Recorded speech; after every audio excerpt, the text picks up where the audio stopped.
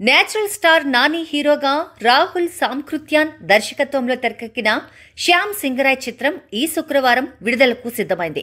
అయితే ఈ సినిమాపై ఓవర్సీస్లో భారీ అంచనాలు నెలకొన్నాయి. ముఖ్యంగా నాని సినిమా అంటే ఓవర్సీస్లో మంచి క్రేజ్.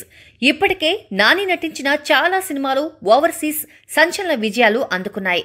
ఆ నేపథ్యంలో తాజాగా విడుదలవుతున్న శ్యామ్ సింగరాయ్ అటు బిజినెస్ పరంగా కూడా నాని కెరీర్లోనే హైయెస్ట్గా నిలిచింది. ఈ నేపథ్యంలో భారీ అంచనాలతో వచ్చిన శ్యామ్ సింగరాయ్ ఎలా ఉంది? అసలు శ్యామ్ సింగరాయ్ ఎవరు?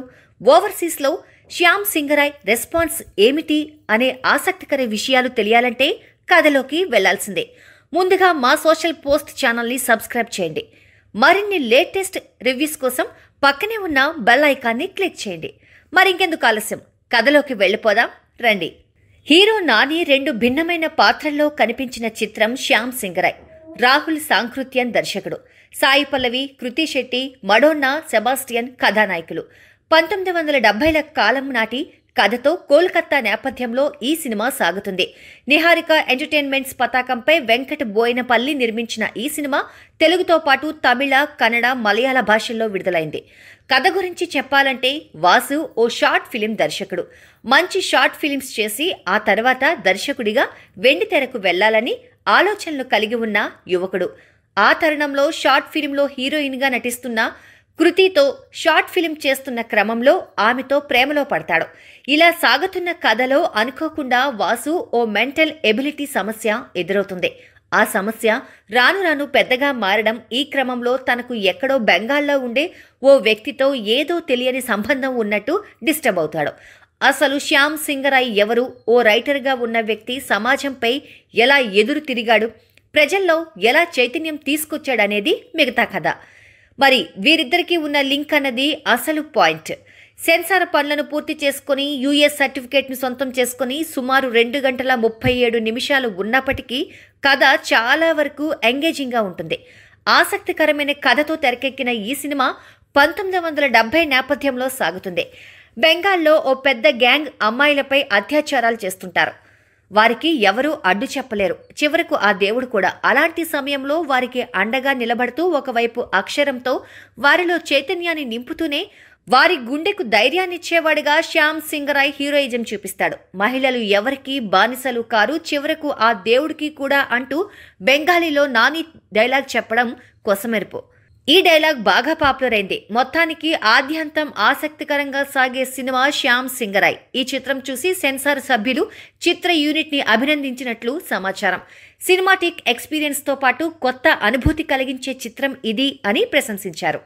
అది సినిమా చూస్తే నిజమే అనిపిస్తుంది. ఈ చిత్రంలో నాని రెండు విభిన్నమైన పాత్రలో రెండు డిఫరెంట్ టైం పీరియడ్స్లో కనిపిస్తాడు. ఒక పాత్రలో మోడ్రన్ యువకుడిగా కనిపించగా మరో పాత్రలో శ్యామ్ సింగరాయ్గా కనిపిస్తాడు. మోడ్రన్ యువకుడిగా ఉన్న నానికి జోడీగా కృతి శెట్టి శ్యామ్ సింగరాయ్కి జోడీగా సాయి పల్లవి నటించింది. నాని రెండు పాత్రలు చాలా భిన్నంగా ఉండేలా ప్లాన్ చేశాడు. పైగా రెండు పాత్రల్లో అదరగొట్టాడు. అలాగే నాని కృతి శెట్టి మధ్య రొమాన్స్ యువతని ఆకట్టుకునే విధంగా ఉంది. మరోవైపు శ్యామ్ సాయి పల్లవి మధ్య ప్రేమ సన్నివేశాలు క్లాస్ ఆడియన్స్ని మెప్పించేలా ఉంటాయి. సరికొత్త కథాంశంతో దర్శకుడు రాహుల్ సర్ప్రైజ్ చేసిన విధానం బాగుంది. అలాగే శ్యామ్ పోరాట సన్నివేశాలు డైలాగులు గూజ్ బంప్స్ తెప్పించేలా ఉన్నాయి.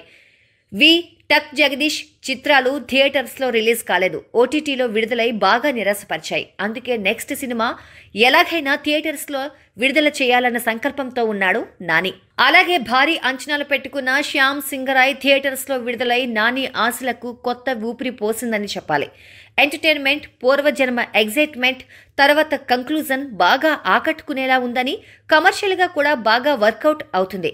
అయితే సినిమా టెక్నికల్ అంశాల్లో అక్కడక్కడ ల్యాగ్ అయిన సన్నివేశాలు కొన్ని అనవసర సీన్స్ బోర్ కొట్టిస్తాయి. మ్యూజిక్ ఆర్ఆర్ బాగుంది. అలాగే ఫోటోగ్రఫీ కూడా శ్యామ్ సింగ్రా ఎపిసోడ్ విషయంలో కలర్ టోన్ భిన్నంగా వాడారు. అనుకోకుండా జరిగిన ఓ ఇన్సిడెంట్లో పూర్వజన్మ గుర్తు చేసుకున్న హీరోకి పూర్వజన్మలో తాను సాయి పల్లవి ఎలా ప్రేమించుకున్నారు వాళ్ళ ప్రేమకి ఎలాంటి అడ్డంకులు వచ్చాయి అన్న సీన్స్తో ఫ్లాష్ బ్యాక్ లెంత్ కొంచెం ఎక్కువగానే ఉన్నా తర్వాత సీన్స్ బాగుంటాయని సినిమా క్లైమాక్స్ ఎపిసోడ్ ఆకట్టుకుంటుందని అంటున్నారు.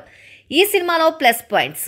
కథ కథనం నాని సాయి పల్లవి నటన ఫోటోగ్రఫీ మ్యూజిక్ మైనస్ అంశాలు ఎడిటింగ్ కొన్ని ల్యాగ్ సన్నివేశాలు ఈ మూవీకి మేమిస్తున్న rating three out of five Please subscribe uh, Social Post. Please subscribe to Social Post. Please subscribe to Social Post. Please subscribe to Social Post.